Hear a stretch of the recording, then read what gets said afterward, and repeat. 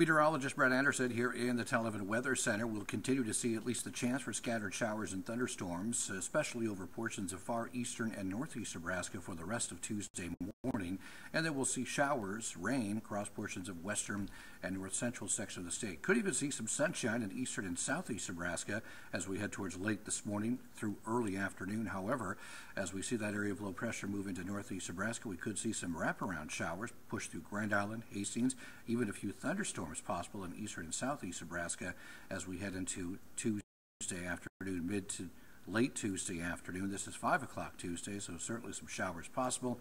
Again, right now it looks like the more significant rainfall will be over portions of north northeast Nebraska. Showers continue this evening, especially for northern and northeastern sections of the state. However, still a few showers possible for Lincoln and York through this evening. Now, eventually, we'll see the clouds decrease, and I think partly to mostly sunny skies for Wednesday. Still going to be a bit on the windy side.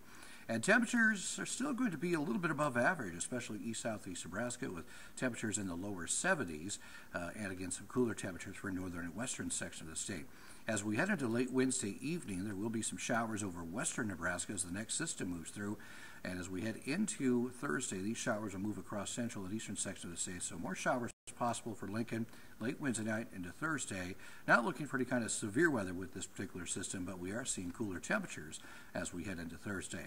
So again, the severe weather outlook indicating a marginal risk for the rest of Tuesday for eastern sections of the state, a slight risk for extreme eastern sections of Nebraska. Some of the storms that do develop this afternoon, at least a few isolated severe storms possible, but not expecting the widespread severe storms that we had earlier in the day. Also, a high wind warning until 8 p.m. Tuesday evening, this evening, with wind gusts up to 60 miles per hour for places like North Platte, McCook, and Imperial. Tree and grass pollen at high levels for today. Again, we will be looking at uh, some sunshine over portions of uh, south central sections of the state, southeast Nebraska, but there will be more clouds. Here's a forecast wind speed, wind gust for the Lincoln area, and I think between 35 and 40 miles per hour will be possible.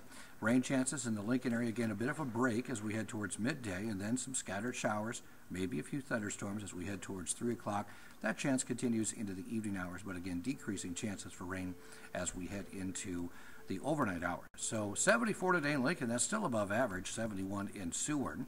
High temperatures will be in the 60s and 70s, although 56 for Valentine today, 67 at Grand Island, 74 in Lincoln, and 68 degrees in Clay Center. But again, it will be windy with a, eventually a south-southwest wind anywhere from 20 to 25 with gusts between 35 and 40 miles per hour. Even windier conditions, of course, over western Nebraska.